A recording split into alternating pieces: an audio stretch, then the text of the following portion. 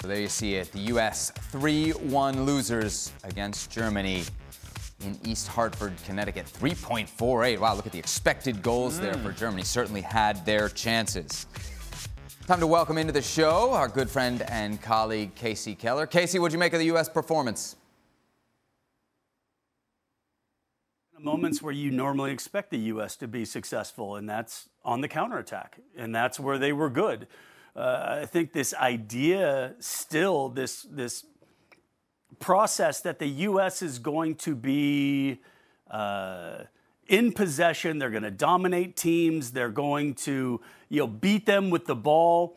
But in the end, what it comes down to, it comes down to the U.S.'s athleticism, where they showed their best. So there was a disconnect, I thought, between the midfield and the defense. They dropped into a defensive shape okay, but then didn't put enough pressure higher up the ball, allowed Germany to have so much possession on the top of their 18. Uh, I think Stevie just mentioned that Füllkrug could have had a hat trick. He had two really good chances in the first half that he that he missed. Uh, but the U.S. again show at times that when they get out on the break and they use their pace and they use their athleticism in the attacking third, they can be a difficult opponent for sides. But it's it's it's really now up to Greg to, to figure out, you know, kind of how can he play this team? Yes, against the Uzbekistans and the Omans and, you know, maybe some CONCACAF competition. You can keep the ball, you can pass it around teams, and, and you can win that way. But we're still trying to find that United States team to play against the quality of Germany. And let's be honest, this is a German side that's been very poor over the last year and a half or so. This isn't a German side that we're used to seeing, and I think we saw aspects of that even in this match defensively, where Nagelsmann has a lot of work to do if they're going to be competitive in the Euros. But the U.S. against the opposition of the likes of a Germany, you know, still aren't able to control the game through possession. And if that's the case, fine play a particular way that gives you an opportunity to get a result against a side like Germany because through possession it wasn't going to happen today. U.S. looked, Ale, in the first half like maybe they could hang. What happened in the second half? maybe they could hang. I mean, uh, am I exaggerating? They had their chances in the first half beyond just the Christian Pulisic goal. Okay, so if we're going to focus on the one or two half chances that the United States had in the first half, then I think that's ignoring what was happening on the other side of the field. Nicholas Füllkrug himself is responsible for the expected goals of 3.48, right? He, we talked a hat trick, easily should have had a hat trick. It's 100% opportunities for him, both in the first half and the second half. The lack of recognition that the United States had defensively in the first half and second half that is a mismatch, Leroy Sané getting after Sergiño Dest. It's a mismatch. It's just not going to work. And so Leroy Sané, anytime that he decided either to cut to the outside or in particular to the inside, there has to be help coming from the midfield. There has to be help from the center back. There has to be help from the trailing player. And when you look at the goal from Germany, the, their first goal, the game-tying goal, Leroy Sané cuts to the inside, and Chrissy Pulisic's in a position where he can get behind the ball, where he can go at the very least make it uncomfortable for Leroy Sané. And what does he do? This is Captain America, right? He gave it the old, oh, I'm, I'm gonna pretend I'm gonna get there, but I'm really not. And so there is no help coming from the trailing players. There is no help coming from the central midfielders. The center backs are too late to step out. And by that time, then Germany and Leroy Sané are just walking through you. They're just passing the ball through you. It becomes a 5v2 situation. And they were so very good in the times in which they got in and around the 18-yard box finding Musiala, finding Gundogan, finding Leroy Sané, and then eventually the chance falls to Füllkrug and he's unable to finish. But had Germany actually been efficient in front of goal, this is not 3 1. This is a far larger score, and we're not talking about the United States potentially hanging. Mm. Yes, they were hanging in the first half. Second half, different level from Germany, and the, and the United States simply could not respond. Stevie, as a manager, you look at this U.S. performance. What's your biggest worry? My biggest worry is that this team doesn't defend until it's too late. You know, you have to defend as a team, as a unit, further up the park. It's too late when you've got Sané and Musiala running at you just outside the box because you can't, you can't challenge. You're too scared to go near them because they're coming at you too quickly. And if you make a mistake there, you're in big trouble. So that means that you have to defend further up. And that means that Balogun, listen, as good, as, as, as dangerous at times as they looked on the break mm-hmm. with Balogun uh, and Pulisic uh, and Weah and Musah's pace uh, and, and Reyna's guile, that's not enough. They have to do a job when they don't have the ball. And that means they have to be part of a defensive unit that stops the opposition from the halfway line to maybe halfway towards the edge of the box. That's where you need to be defending, not at the top of your box. Because against good players, you're in trouble. Little one-twos, little pieces of brilliance from individuals, you're in big trouble. The big storyline coming into this from the U.S. perspective was Gio Reyna back with the team, back with Greg Berhalter. Kasey, I wonder what you made of his performance. We only did get to see him for the first 45 minutes. Well, yeah, I mean, I, I, th- I think DeMarcus Beasley said it on the broadcast that he was a little surprised after only playing, you know, 26 minutes uh, since June that he actually started. But I, I get that. I think what Greg just wanted to do was just put all this behind it. Say, okay, look, I'm going to start Gio. We're in camp together. Everything's fine. We're going to move forward with this relationship, as you read a hundred times this week. And uh, I think Gio was solid. I, I, think it's a good opposition uh, where – you know, it wasn't as if the U.S. was going to dominate in possession and Gio was going to be the the playmaker from a withdrawn position. It just wasn't going to happen against this quality of opposition. But but I thought I thought it was a good it was a good outing and you know obviously the, I think the guys made very very you know valid points about where the U.S. needs to go forward. You know, with the Gio Reyna, with obviously you know that you know the the midfield that the U.S. has with with Musah and McKennie. I mean, you got guys playing at big teams in big leagues, but there was a disconnect there. And, you know, Ollie and Stevie pointed it out very well. That is what Greg and his coaching staff are going to have to look from this quality of opposition where this team can learn to defend as a team and attack as a team. It's one thing you know, here's three, four guys that are quick against a slow German defense. And if they cheat a little bit, like Ollie pointed out with Pulisic on the one play that cost him a goal, yeah, you're going to look great on the counterattack if you're not worried about getting back behind a player and, and helping them defend. So, so yeah, there's a, there's a lot of things they learned from this. And I think the one nice thing about the Gio Greg situation in this match is it's finished. Now mm-hmm. nobody needs to talk about it anymore, and let's just go forward and, and, and be better against opposition like the quality of Germany. I know we saw it in the highlight. I don't want to brush past it. The Christian Pulisic goal, special, yeah? Absolutely special. And what you see there is a player who feels very good about himself right now and very, very good about his surroundings and his experience and his environment. And feels excited to be on the field, expects to play every weekend, is delivering results for Milan, is productive in the way that he's playing, and he's carrying that level of confidence to the national team. So when you see this sort of execution for Christian Pulisic, that's why people get crazy about Christian Pulisic in this country. That's what they get hopeful. That's what they, they get ahead of themselves because when you they, say people, are you saying me?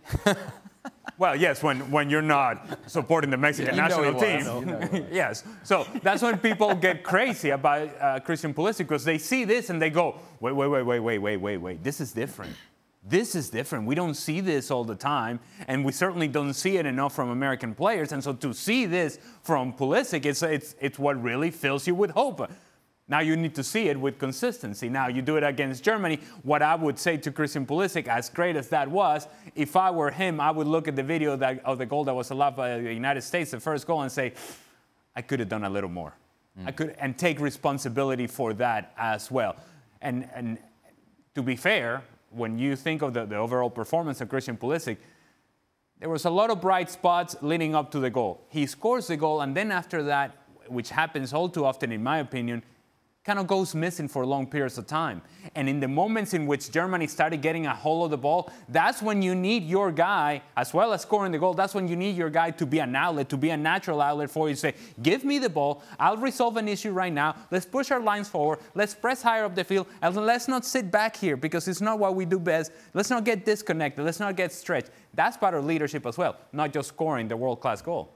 I think Stevie, from a like U.S. fan perspective, you thought, well, if there's ever a chance to beat Germany, you looked at the recent record, everything that's happened. Mm. But you pointed it out yesterday, and you pointed again while we were watching this game. The gap in actual talent between the two 11s, uh, even if we're going to call this a bad Germany, is still massive.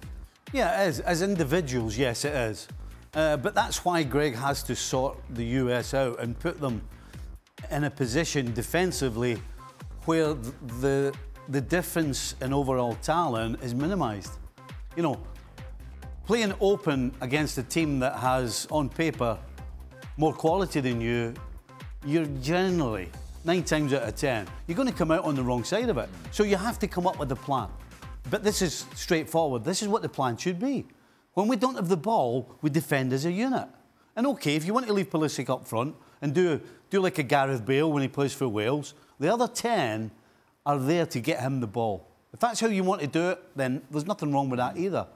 But you've got to defend as a unit against teams that have better players than you, first of all. And the other thing that you have to do, Stevie, is not turn the ball over coming out of the back, which the United States were doing far too often. Mm-hmm. And it's this, this insistence on stubborn insistence on we're going to play out of the back. And, and, and you look around and you go, wait a minute, wait a minute, wait a minute. Who, who, who are we trying to play the ball out of the back with? What, are, are this the players that are equipped to do this consistently against Germany when they come on high pressure? Just because you get out of that pressure two, three times, it doesn't mean that you're suited to do this all the time. And it's moments of recognition by the United States in which you have to say, you know what? Let's put it over there. Mm. Let's put it over there and Balogun, go fight for it. Pulisic, go fight for it. Gio Reyna, go fight for it. It's just to me, it's, it's unnecessary, unnecessary stress that you bring upon yourself against teams that are going to expose how poor you can be when you turn the ball over. That's, that's down to the coach, though. Yeah. The mm. coach has got to get rid of this, this snobby attitude around the world where everybody, regardless of whether you can or can't do it, you have to do it and I'll take responsibility when it goes wrong. Well, I, I, as a fan, I don't want to see my team who can't play try to play and then we lose goals. I don't, I don't care if we all move forward and we put it in the corners or whatever you do. You've got to find a way to get wins. And the, and the US aren't going to get wins against better opposition by trying to be clever playing it out the back. Kasey, what do you make of what the boys are saying here in studio? Does Greg Berhalter have this team trying to play a little too cute? Oh, 100%. Uh, it's something that we've talked about for years with this team. And I thought, you know, in the in the World Cup, I think they were a little less proactive in doing that because it was very result, results driven. Um, and so you get into some of these friendly situations where maybe a coach says, "Okay, let's see what players are capable of doing this." Uh, and I think we saw again that, that that the U.S. at this level isn't ready in possession to be able to compete against the likes of a Germany. So use your strengths. And what were those strengths that we saw at times? We saw the pace of the U.S. attack going at the German defense, which is something that Nagelsmann is going to have to sort out because if they're going to leave themselves exposed, they're going to lose a lot of games with the pace of the defense that Germany has. But you have to set your team up, to Steve's point. You have to set your team up in a way that you can get a result against a superior opposition. And playing a team like Germany heads up, yes, the U.S. has a lot of good players, and yes, it's continuing to improve, but we're not quite there yet that you can just play heads up. You attack, we attack, and we'll outscore you. And those frailties at times, and I think Ollie made a really, really good point as well, that if, if Füllkrug in particular – and, and Germany as a whole were a little bit more clinical in the final third. It, it wouldn't have been 3 1. It would have been even a greater scoreline. So, yes, I think there's a lot of things that Greg can learn, but the insistence of trying to play out of the back under pressure against great opposition, you know, I thought they learned that a while ago that it's just, we're just not quite there yet. Since Kasey mentioned it, how do you think Julian Nagelsmann will feel first game in charge after his team's performance? If I'm him, I'm happy. Away from home, a long way from home, um, a, a, victory. Uh, could have been could have been more. Um, got a look at all these players. Yeah, yeah. a ton, a ton of positives, Mm-hmm. uh, and I don't think, I don't think he'll be surprised about anything. Uh, I think he must know that defensively he needs to come up with something better than what they have, uh, and Mats Hummels in particular. Uh, I don't believe Süle's the answer either. Um, so that's, to me, that's where he needs to concentrate because going forward, he's got all the ammunition. He's got players with ability. He's got experience in the middle of the park. He's got Musiala who's going to supply his forwards. So uh, he'll be happy, absolutely. Not a bad start. I I think it's actually best case scenario for Julian Nagelsmann in that you went down in the game, so that exposed some of your frailties. Uh, you and, but you were able to find a way back, and you saw some of the talented players on display in the attacking half. So, room to get better, room to learn, but you do it by winning, which is what he said was most important coming into these games in his interview with us. He said, Look, Priority number one is winning. Well, they did that. Coming from behind, scoring three goals, knowing that you could have and should have scored more, and knowing full well that there's a lot of work to be done, I think gives him what he wants. But it's a whole lot easier with the media in Germany and the press and the expectations and the pressure to work from a space that, hey, we just won a game. Game one, we won. Now we move on to the next one, and you build some momentum that way. You can, you're allowed to work without people pointing the finger already, without people saying, "Oh my goodness, Germany, they're terrible." Now, at the very least, those people that were about to point the finger just kind of take a step back, and it- allows Julian Nagelsmann to take a step forward. Germany then, in their first game under Julian Nagelsmann, 3-1 winners over the United States. Our thanks to Kasey Keller. Always great to have you with us here on ESPN FC. The Bundesliga returns to ESPN Plus in six days' time. Actually, Gio Reyna's Borussia Dortmund taking on Werder Bremen. You can catch that next Friday.